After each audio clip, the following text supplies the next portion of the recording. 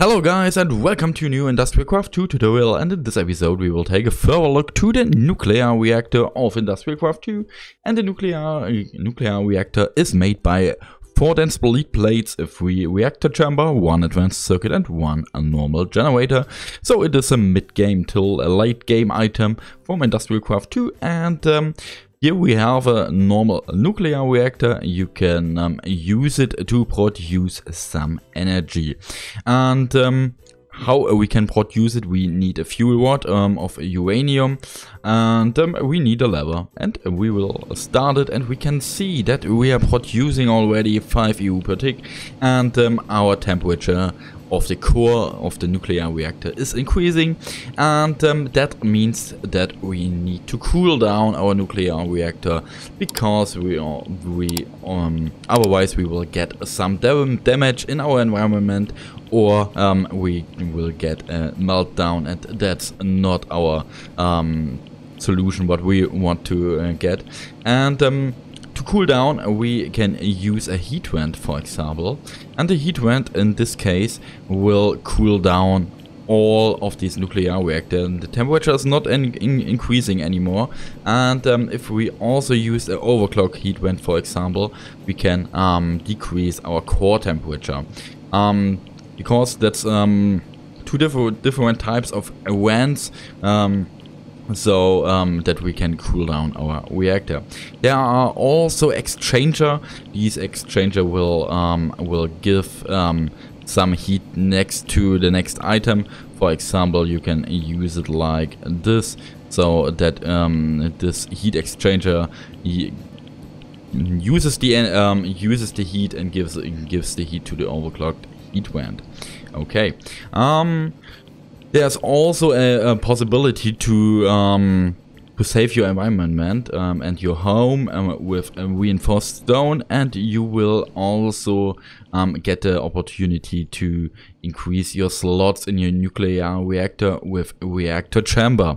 Um, in this case I, um, I created two reactor chambers here so that we have two uh, lines um, this way and this way and we, we can see that um, our nuclear have, reactor has more slots. Okay.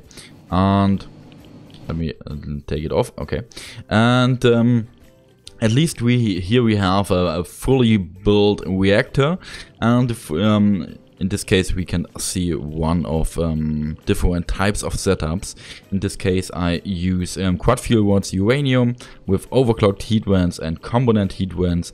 And if I say, um, let's start, we can see that we are already output 240 EU per tick.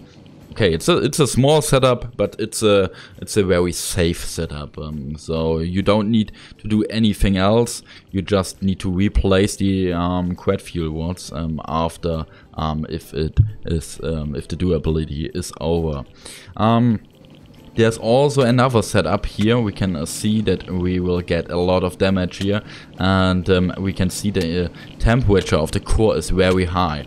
At uh, this moment we are by uh, we are at uh, 4, 80, 48 percent and um, we can see look at the setup you can see that we use some advanced heat vents component heat exchangers component heat um, vents and some heat vents in this case and um, yeah that's a that's a possible setup um, but there you need to know that you at first need to increase your temperature uh, at the core so that um, if you if you are using a core temperature by round about 84 percent um, percent or in this case uh, 8448 uh, degree um, you are able to get out uh, some a lot of more energy. We can take a look at this reactor here and um, that's the same setup here and if I put it as on and we can see the degree is uh, at zero you can see our normal output is by 300 EU per tick. Okay.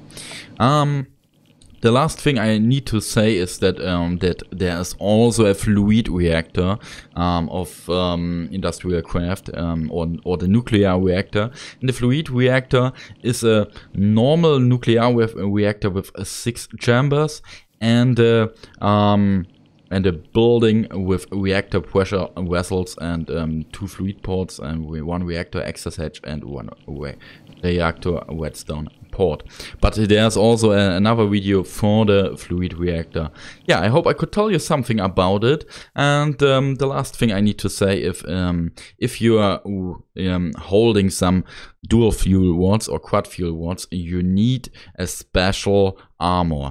Um, in, in my case, I'm wearing a quantum suit, and um, but uh, there's also the possibility to um, we use a hazmat suit with a scuba um, a scuba uh, mask and um, rubber boots um, to um, don't get some radiation effect. Thanks for watching and bye.